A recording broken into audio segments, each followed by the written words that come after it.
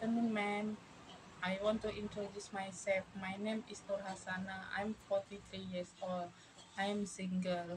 I'm Muslim. My height is 162 cm. My weight is 83 kg. My last education is senior high school.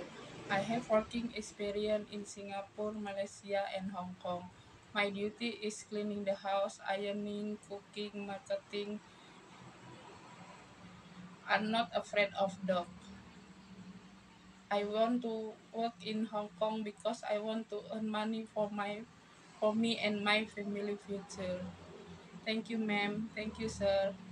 See you in Hong Kong. Bye bye.